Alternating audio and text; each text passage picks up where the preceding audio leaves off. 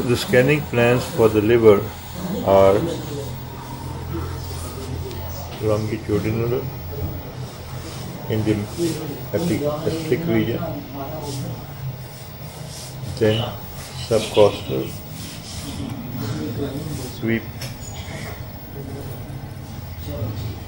subcostal sweep,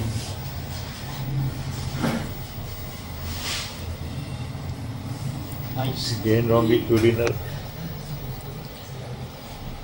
then angling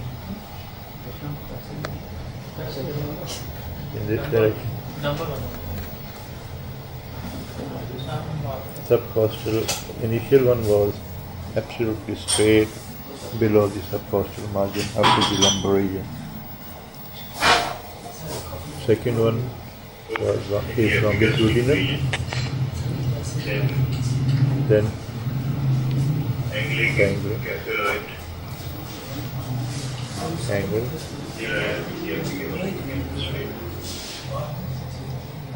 then transverse, epigastric region,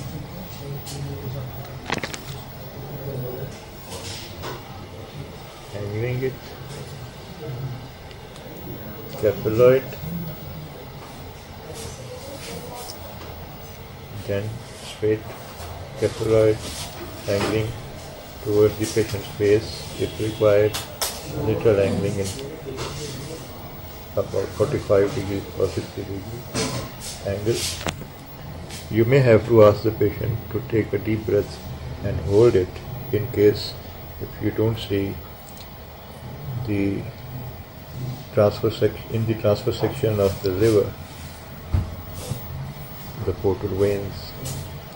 And in this posture and in this position scanning in this scanning plan you don't see the hepatic veins. Then you may have to give pressure. You may have to give pressure. And maneuver it in this section in this way.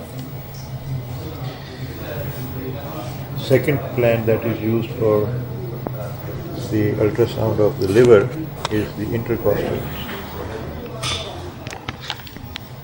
plan. These are the intercostal plans.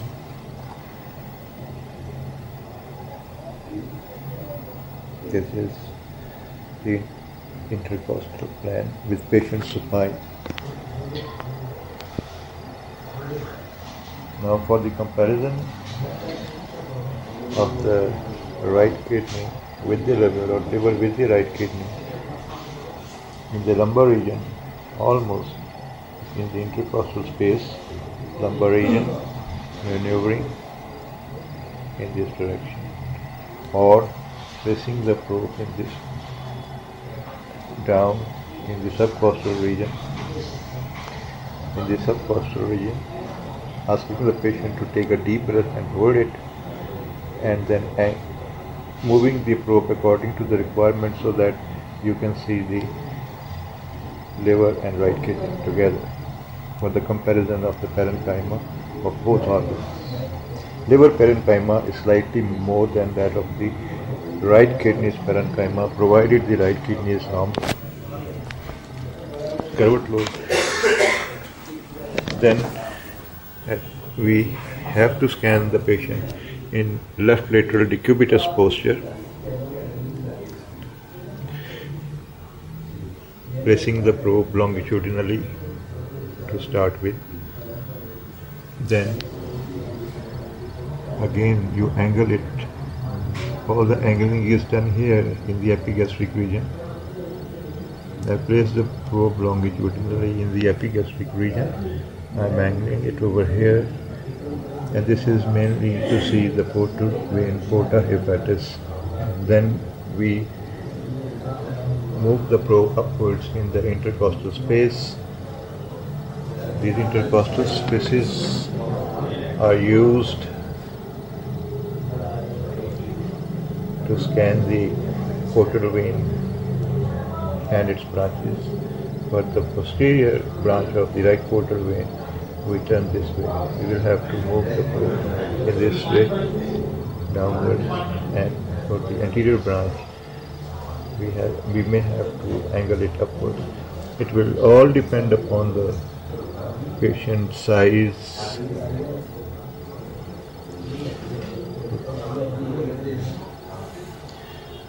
Ideal scan is that we do that we perform on a thin patient. Then this is one view in which place the probe in this subcostal region, give some pressure, angle it cephaloid and ask the patient to take a deep breath so that you can see all of the liver parenchyma with diaphragm. Then this is one another view. You place the probe in the subcostal region. In the subcostal region. Here. Move it downwards.